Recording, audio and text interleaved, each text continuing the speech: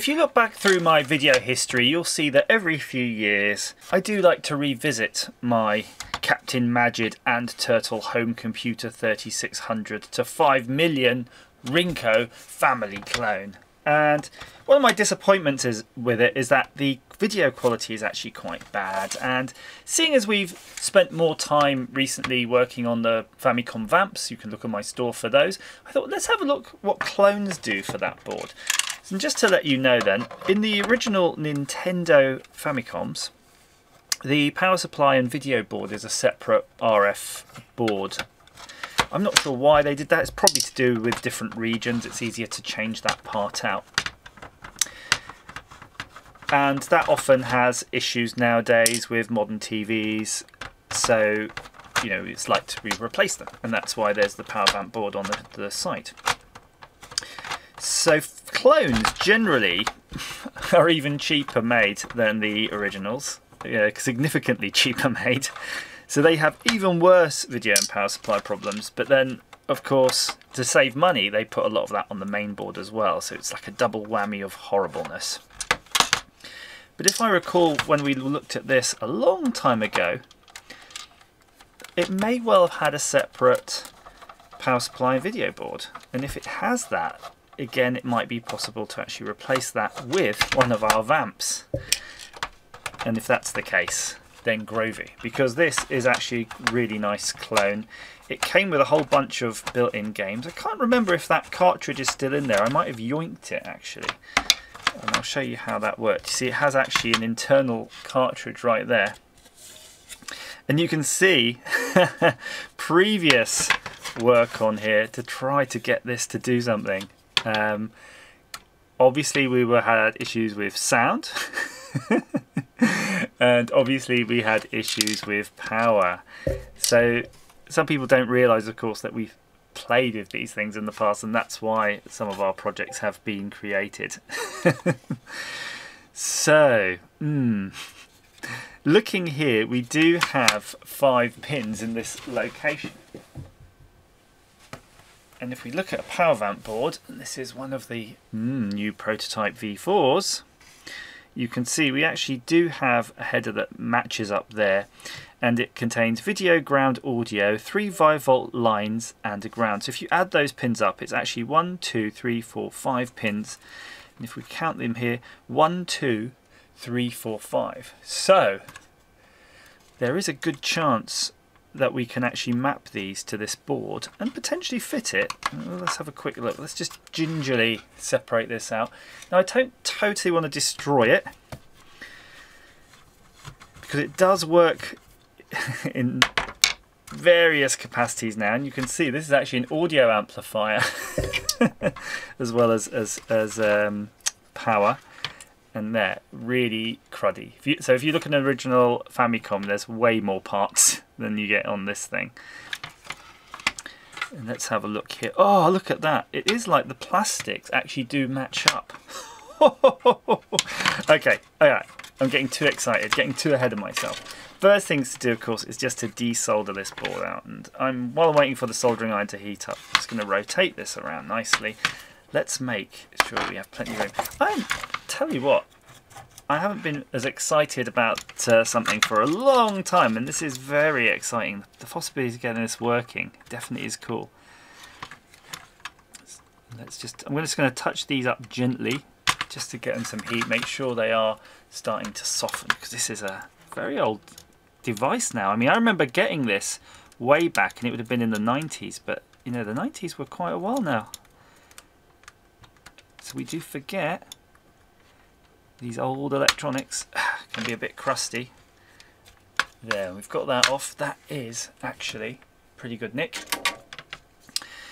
Oh, look what they've done for us. They're actually labelled. Okay, I had a little sit down to calm down because it was just getting way too exciting there. So that being said, it is time to revisit this. I did notice one thing though that is a bit interesting and that's the power switch. Um, we have here on the VAMP the option for the power switch, but of course here the power switch is integrated. Now that's not normally an issue because the later revisions actually of the uh, Nintendo Famicom do that. We just put a jumper over here because the circuit for the power is actually closed elsewhere. There is uh, a slight thing in that the um, regulator on board here will be on, but drawing just a quiescent current when this is off, so I don't foresee it to be an issue. So we'll just hook it up as is. So let's just go like that. We'll flip this round. So that'll be the pinouts. So we can see we've got ground VCC.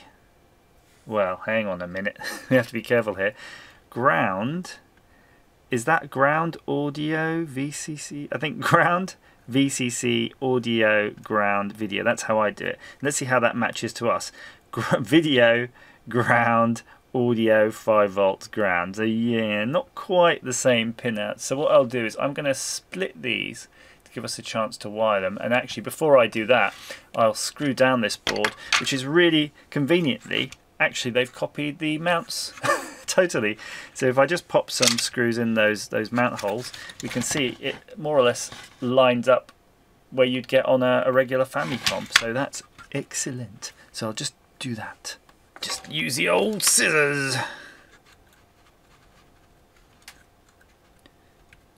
Being very careful here. Don't want to add an additional wiring job. if I can avoid it. Yes. Look at that. Look at that. Nicely snipped. We can just bend those out of the way.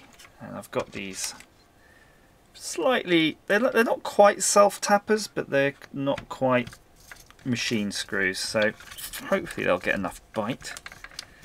And indeed they are. See, that's the benefit of saving all these screws from all these PC case installs. they always give you bags of these various screws. And you can see they do a lovely job. Um, yeah, there's there's slight misalignment, but I think it's more to do with the plastic. So I'm just going to put the screw in and bend the plastic slightly. I didn't appreciate that my PCB would be part a structural member now of this Famicom. but it is, that's fine. Again, you can't expect the plastics to be 100%, especially if they were never intended to be used, because I'm looking at the board that we removed, and that's missing most of these holes. So they clearly just did a case copy and then decided they didn't need all the holes. They're going to save themselves a few cents per unit by not supplying these screws. Where they went, it's fine. Right, so now that is rock solid. Again, it might be worth just looking at this just to make sure we've got this first pin, first, second, third, fourth, first and fourth pin are ground. So let's see if that makes sense. Ground and ground. Yeah, so I think we have to go ground VCC, audio, ground video. We'll just do it that way. We'll just take a punt on that. So the first pin is video, which is this one. So I'm just going to wrap it around, and I'm not going to solder it as you would normally with a through hole just through the actual PCB. I'm just going to pop it in from the top like so. Don't worry, I'll zoom in, you'll have to see. And I'm just going to bend it over. You can see what I'm up to. And can, I'm basically just popping it in from the top like that. And then I'm just going to go in with my soldering iron and need a new, another set of hands for this. But you can see I'm all prepared up got me soldering iron here and I'm just gonna put a little dab there and that's going to hold that perfectly in place. And while we're at it this power switch remember we're not going to use that necessarily. So I'm going to make a jumper and I'm just going to make that out of a little bit of wire. Be a little bit careful when you're bending the wire. I have stabbed myself on many an occasion and if you get the wire just to go through those two pins nicely just prizing them together a little bit more they weren't quite aligned up just like so yoink and just give it a little kiss with the soldering iron And that's easy actually to remove if you have to. So what was the next one? That was our video. And the next one is ground, and we have loads of grounds, and they're all connected on here, so we can choose this pin here. This, well, the first one on the actual board was ground, so let's pop that one there. And we do have another ground further on, which will be a little bit more convenient. And I'm just going to tin this because it doesn't look particularly nicely tinned, and I'm just going to tin the pad. I'm not even going to poke this one through the hole. It looks so mauled up. I think it would prefer just to sit there on the surface next to it like so. Brilliant. Uh, the next pin we need to add is audio. So this actual one is VCC. So we're going to keep VCC out of the way while we work on the audio pin, which was the next one. And you know what? That technique was so good. I'm just going to do the same thing. That was really convenient. If you've got tweezers, I think it's definitely the way to go. So this is the audio. I'm going to just fold that down there. Make sure it's straight. Just a bit ginger. Now nearly any time anybody has an issue with the VAMP, it's always down to soldering, always. They're very simple boards, you can't really mess it up, but you can mess up soldering. So the next one beyond that, this one is another ground which we can just attach straight to pin 7 like that oh just just throw the tools about why don't you.